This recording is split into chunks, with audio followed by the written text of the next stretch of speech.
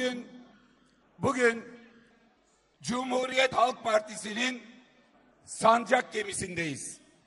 Bugün milli mücadelede ilk kurşunun atıldığı yerdeyiz. Bugün kadınlar için, gençler için bir imparatorluğun tebaası olmaktan, bir padişahın kulu olmaktan çıkıp da bir cumhuriyetin onurlu eşit vatandaşları olma erdemine kavuşmanın en önemli mücadelesinin hem başladığı hem nihayetlendiği yerdeyiz. Gazi Mustafa Kemal Atatürk'ün annesi Zübeyde Hanım'ın emanet edildiği kentteyiz. Bugün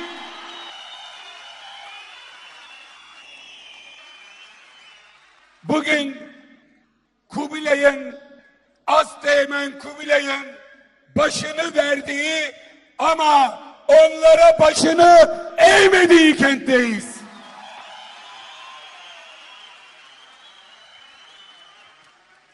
Bugün iki büyük eserim var. Birisi Cumhuriyetse, diğeri Cumhuriyet Halk Partisi diyen hepimizin baba ocağı, herkesin içine doğdu. Kiminin ayrılıp gittiği, kiminin bacasını tüttürdüğü bir evdeyiz. Ve o evin tapusunun kayıtlı olduğu Gazi Mustafa Kemal Atatürk'ün evindeyiz.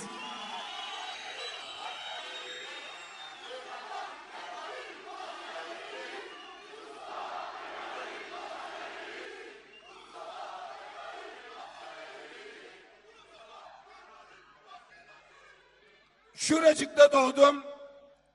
İlkokul son sınıfta öğretmenim dedi ki iki sınava gireceksin. Bir tanesi Anadolu Lisesi sınavı, bir tanesi devlet parasız yatılı burs sınavı. Formumu doldurdu Gülseren öğretmen. Gülseren Asyamanlar. Şimdi 89 yaşında hala karşıya kadar yaşıyor. Ellerinden öpüyorum. Formu doldurdu, beni sınava soktu. İki sınavı da kazandım ve 10 yaşında Bornova Anadolu Lisesi'ne geldim. Ortaokul, lise, üniversite hatta sonra döne sınavda ikinci olunca dilediği yerde askerlik yap dediler. Bornova Anadolu Lisesi'nden Ege Eczacılıktan sonra askerliğimi dahi şurada Ege Deniz Bölge Komutanlığı'nda yaptım. Bugün ben boğazımdan yedi yıl devlet ekmeğinin geçtiği, ömrümün en güzel 12 yılını geçtiği, hayat arkadaşım Didem'le tanıştığım,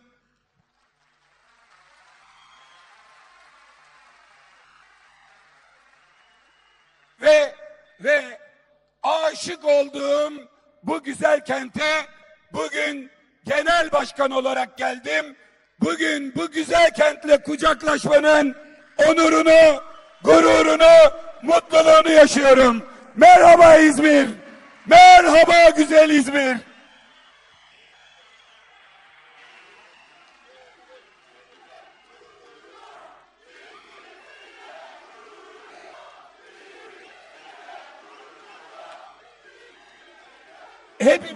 İzmir'le gurur duyuyoruz. Bugün yanımda genel başkan yardımcılarım var. Parti meclisi üyelerim var. Pek çoğu İzmir'in ama partimizin çok sayıda milletvekili var. İl başkanımız, ev sahibimiz çok güzel bir konuşma yaptı. Konuşmasındaki vurgu şu. Biz burada bir kötünün yerine iyiyi getirmeye gelmedik. Biz burada namuslu çalışan, dürüstçe çalışan, bütün engellemelere rağmen görevini yapan kıymetli arkadaşlarımızla bir büyük devrimi, kadın devrimini, gençlik devrimini, İzmir'in bizden beklediği dinamizmi ve yarınların yöneticilerini bugünden İzmir'e tanıştıracağımız, İzmir'i ayağa kaldıracak, İzmir'i bir dünya kenti olmak, dünyanın en önemli kentlerinden birisi haline getirecek dinamik kadroların bayrak devir teslimine geldik. Bundan önce görev yapan o resmi bir daha alalım belediye başkanlarımızın. Dün Cemil Tugay aradı. Dedi ki önceki dönem görev yapan arkadaşlarımız arkada yansırsa nasıl olur? Dedim ki çok şahane olur. En doğrusu olur.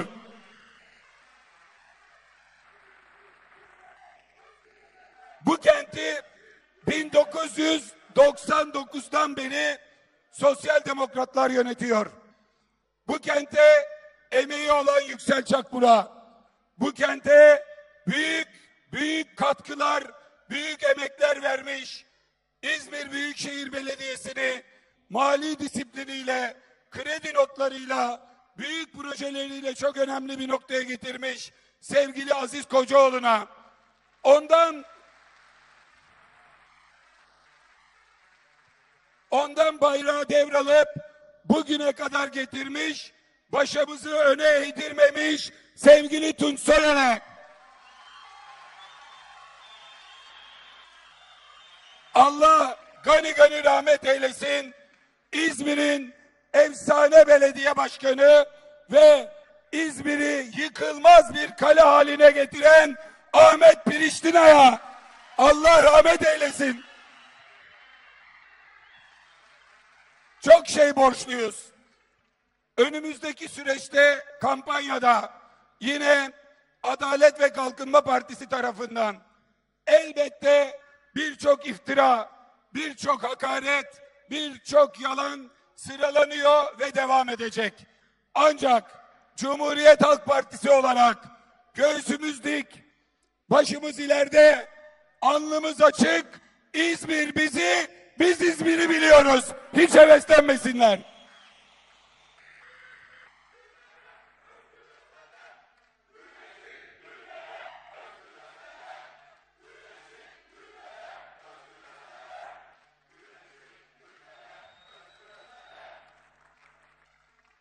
Bugün birazdan buraya 30 belediye başkan adayı ve onlarla birlikte bir takım kaptanı çıkacak.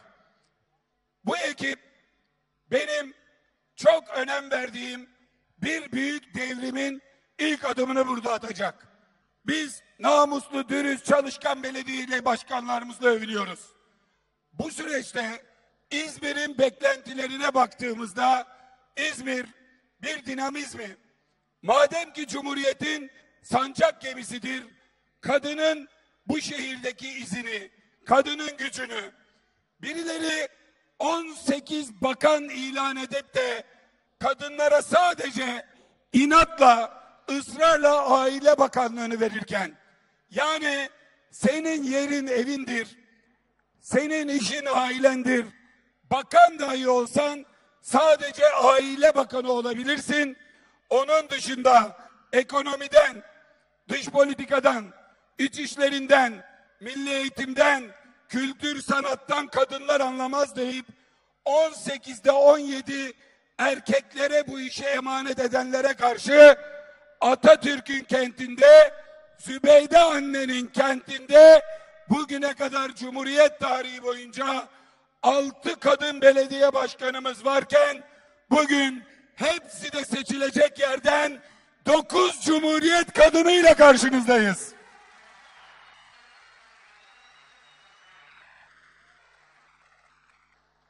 Geçen gün rahmetli Deniz Baykal'ın mezarı başındaydık. Bülent Ecevit'in mezarı başındaydık. Ahmet Taner Kışlay'ı mezarı başında ölüm yıl dönümlerinde anıyoruz. Deniz Baykal 35 yaşında milletvekili 36 yaşında Maliye Bakanı Bülent Ecevit 32 yaşında milletvekili 36 yaşında bakan Deniz Baykal Bülent Ecevit Ahmet Taner Kışlalı Önder Sav ve niceleri 35'li 30'lu yaşlarında bakanlık görevlerini üstlendiler. Şimdi İzmir belediyelerinde 30 belediye başkan adayımızdan tam 12 tanesi 40 yaşın altında. İzmir'e emanet olsunlar. İzmir onlara emanettir.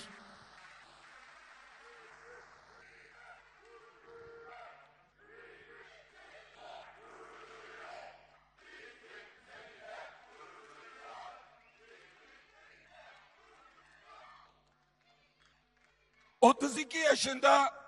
...32 yaşında... ...gencecik belediye başkan adayını gösteriyorsunuz bir akıl çıkıyor karşınıza. Bu yaşta belediye mi yönetebilir diyor. O bütçeyi mi yönetebilir diyor. 35 yaşında Deniz Baykal Türkiye hazinesini yönettiyse 36 yaşında 38 yaşında Bülent Ecevit, Ahmet Taner Kışlalı bakanlıklar yaptılar.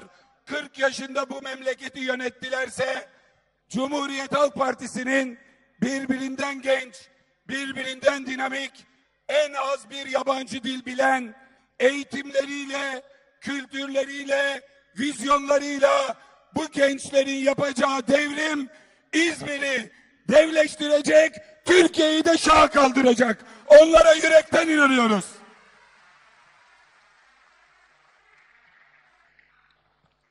Bundan sonraki süreçte Cumhuriyet Halk Partisi'ni kimse küçük iktidar alanlarının partisi olarak görmesin.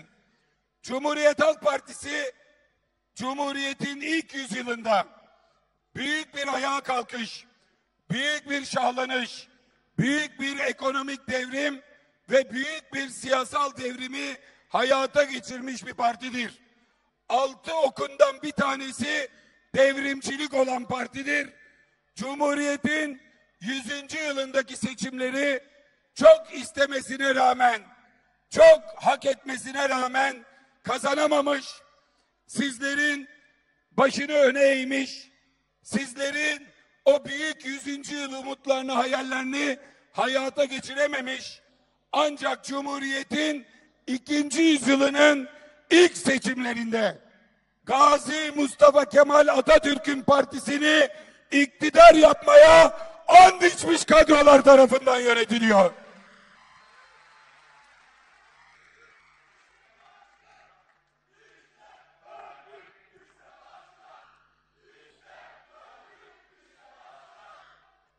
Hepiniz, hepiniz şunu bilmelisiniz.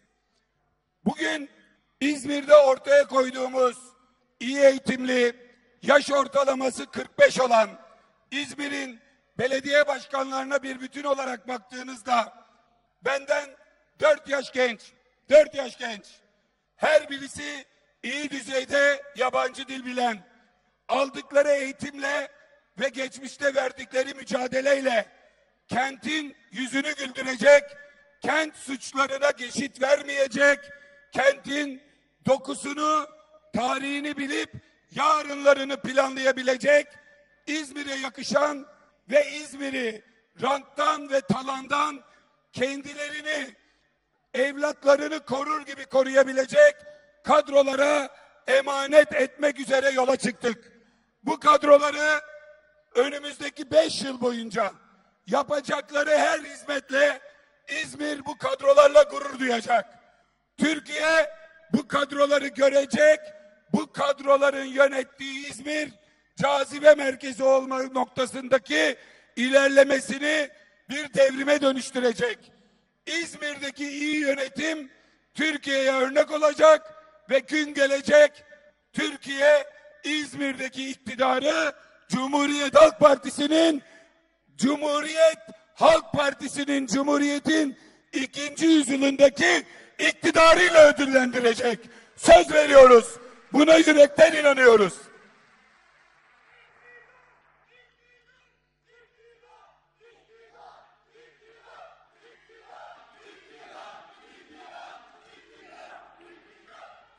Şimdi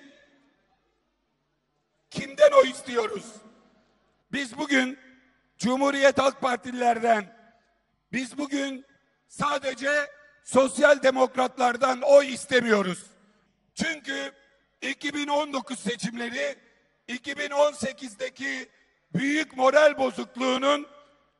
üzerine milletin milletin iradesiyle 11 büyük şehirde ülkenin kaderine el konulmasını sonucuna ulaşan bir büyük başarıyla bitmişti.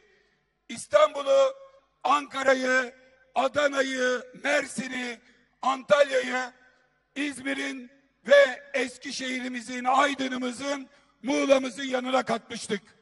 Şimdi Mayıs ayındaki çok hak edip ulaşamadığımız zaferden sonra herkes bakıyor. Recep Tayyip Erdoğan iktidarını perçinleyecek mi? Yoksa Atatürkçü, Cumhuriyetçi, Cumhuriyet değerlerine saygılı kurucu kadrolarına husumet değil hayranlık duyan kadrolar acaba yeniden hem bu 11 kentte hem de devamında hakim olup bir denge sağlanacak, geleceğe umutla bakılacak mı? İşte bu dengeyi sağlamak için bir büyük ittifaka ihtiyaç vardı. Bir büyük işbirliğine ihtiyaç vardı. Bunun için ben göreve geldiğim günden itibaren hepinizin gözü önünde, bütün Türkiye'nin gözü önünde üzerime düşen ne varsa yaptım, arkadaşlarım yaptı, yapmaya da devam ediyoruz. Ancak bir yerden sonra bunu başaramadık. Çok istedik ama geçen seçimden sonra çeşitli ve elbette asla sorgulayamayacağımız kendilerince anlamlandırdıkları gerekçelerle ittifakların dışında kalmayı tercih ettiler. Biz Ankara'da bir ittifak kuramadık. Ankara'da anlaşıp Türkiye'de ittifak kuramadık. Ama bir şeye inanıyoruz. O da şu ki 2019'da 11 büyük şehri kazanan seçmen o 11 büyük şehri adaylar kazanmadı. Partiler kazanmadı. Cumhuriyetin kıymetini bilen seçmen kazandı. O seçmen değişmedi duruyor. O seçmenin itirazı Tayyip Erdoğan'aydı. Saray rejimineydi. Değişmedi duruyor. O seçmenin itirazı Devlet Bahçeli'nin U dönüşüneydi. Değişmedi duruyor. O seçmenin korkusu İstanbul'da, Ankara'da parsel parsel satılan arsaların birilerine peşkeş çekilen kentin İzmir'e de bu yönetim anlayışının sirayet etmesinden korkuyordu. Korku, endişe, tehlike baki ama seçmen duruyor. Biz Ankara'da bir imza atamadık. Ancak İzmir'in demokratları, sosyal demokratlar, İzmir'in demokratları, muhafazakar demokratlar, İzmir'in demokratları, milliyetçi demokratlar, İzmir'in demokratları, Kürt demokratlar, İzmir'e, Cumhuriyete ve geleceğimize hep beraber sahip çıkacaklar. Ben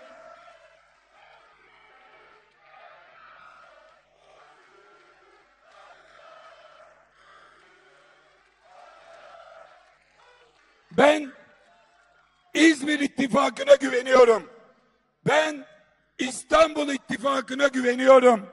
Ben Türkiye İttifakı'na güveniyorum.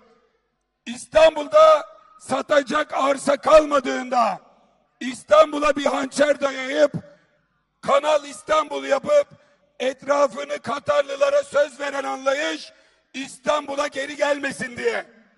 Bülent Ecel Bülent Arınç'ın tabiriyle Ankara'yı parsel parsel satan Ankara'nın bütün varlıklarını dinozor parklarına peşkeş çeken oraları yaptırdığı müteahhitlere peşkeş çeken parsel parsel satan anlayış Ankara'ya geri gelmesin diye.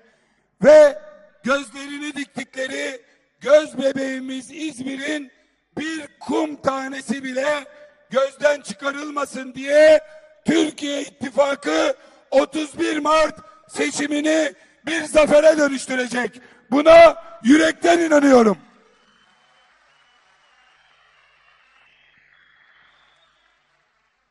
Şimdi Böyle bir zaferi gerçekleştireceğiz. Bunu yaparken biraz önce bir gazeteci arkadaşım geldi elimi tuttu. Beni hatırladın mı dedi. Kurultayda fotoğrafımı çekip demişti ki sen bu işi başaracaksın. Beni unutma dedi. Dedim tamam. Şimdi dedi ki beni hatırladın mı? Nerede o gazeteci abimiz? Nerede bir elini kaldırsın göreyim abimizi. Nerede nerede nerede? Kurultayda fotoğrafı çekip beni unutma diyen şimdi gelen abimiz bir elini kaldırsın göreyim. Neyse çıkacak. Göremedim şimdi. Şimdi geldi çekti fotoğrafı dedi ki bak söylüyorum İzmir'de rekor kırılacak. İzmir'deki bütün belediyeler alınacak. Şimdi iki tane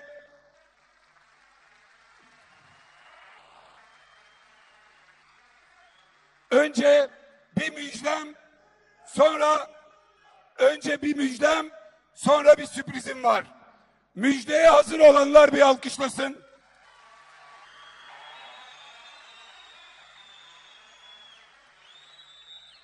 Müjde şu. Adayları gösterdik. Dört gün sonra sahaya indik. Anketlerimizi yaptırdık ve yapılan anketlerin sonucunda gördüğümüz odur ki aldığımız yol adayların gördüğü kabul sahada yarattıkları heyecan önümüzdeki süreç için bugün belki bir hayal olarak görülen 30'da 30'u müjdeliyor. Size söz veriyoruz. Hiçbir belediyemiz kaybedilme noktasında değil, kiminde çok açık öndeyiz. Örneğin Karşıyaka çok açık öndeyiz. Kiminde kiminde kiminde açık farklı öndeyiz. Pek çoğunda garanti bir farklı öndeyiz.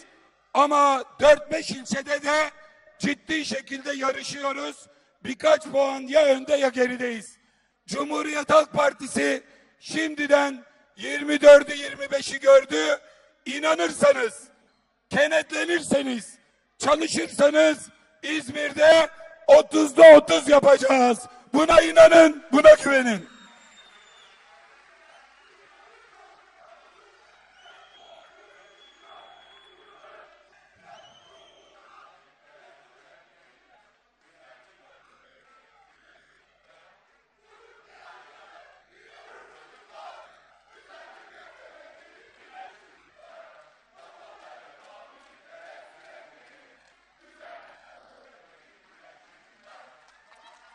Şimdi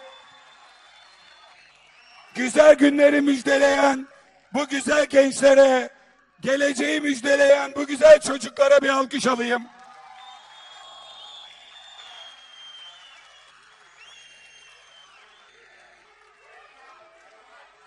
Şimdi madem dinle. Madem bu kadar güzel karşıladınız, bu kadar coşkulusunuz, bütün Türkiye'nin çok merak ettiği bir şey var. Seçimlerde seçim şarkısı ve seçimlerin tanıtım filmi var. Bugün akşam saat 20'de bütün Türkiye görecek ama bu güzel İzmir'e bir sürpriz yapıp seçim şarkısını ve filmi hep beraber izleyelim mi? Kapat ışıkları.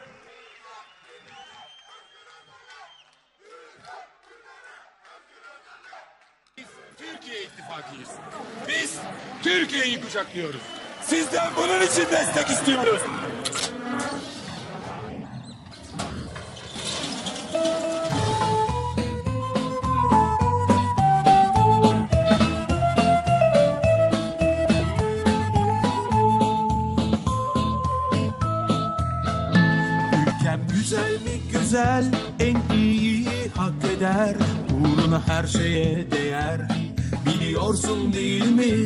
Çalışmaya aşığız Durmak yakışmaz bize. İşimiz gücümüz Türkiye.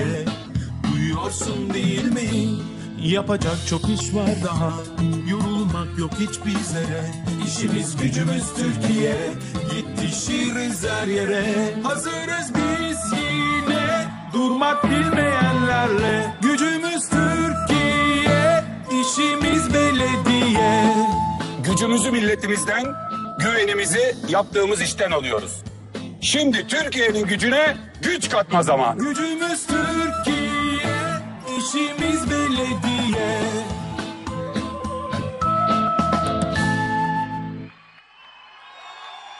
Gücümüzü milletimizden, güvenimizi yaptığımız işten alıyoruz. Belediyecilik ortak akılla, katılımcılıkla olur. Belediyecilik icraattır, millete hizmettir, vatani bir görevdir. Türkiye bize güvendi, en büyük şehirlerini emanet etti. Biz de milletimizin güvenini boşa çıkarmadık. Emanetine sahip çıktık. İsrafı bitirdik. Hizmeti ve dayanışmayı getirdik. Birlikte mutlu, sağlıklı, güvenli şehirler yarattık. Şimdi bu gücümüzü yeni şehirlere taşıma zamanı. Şimdi Türkiye'nin gücüne güç katma zamanı. Gücümüz Türkiye, işimiz belediye. Nasıl olmuş?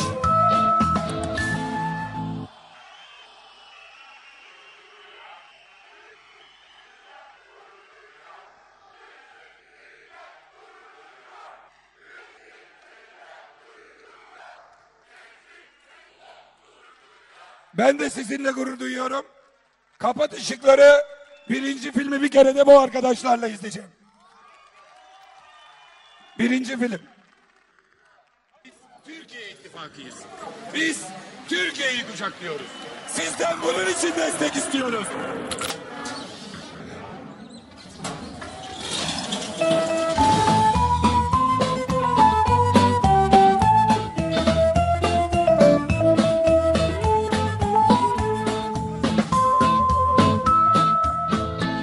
Ülkem güzel mi güzel, en iyi hak eder.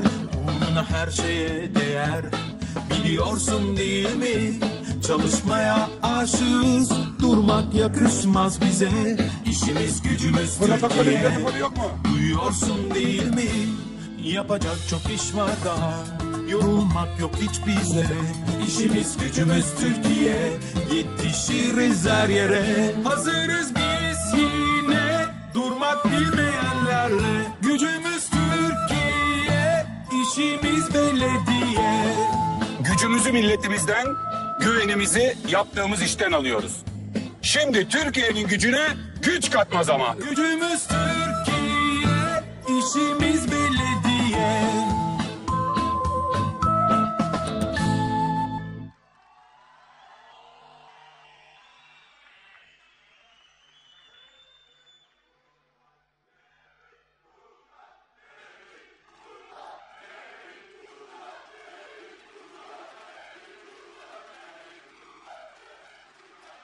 Tam ben de onu söyleyecektim. Şimdi İzmir'de harika bir kadro var. Müthiş bir takım var. Onları birazdan sahada göreceğiz. Ama bu takımın bir de kaptanı var.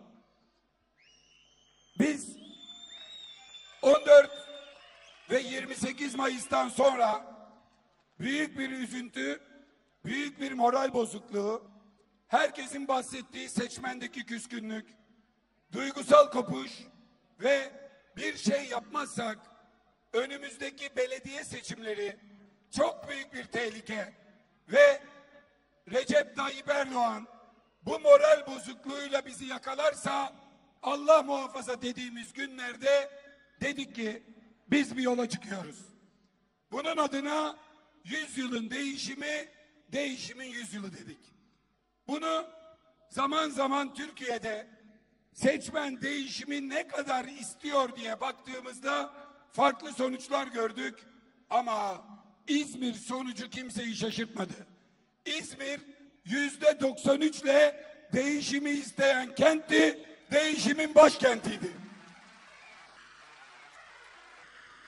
Bu tür haberler için lütfen Siyasetin Sesi kanalına abone olmanızı ve video hakkında yorum yazmanızı istiyoruz. Sizin desteğinize ihtiyacımız var.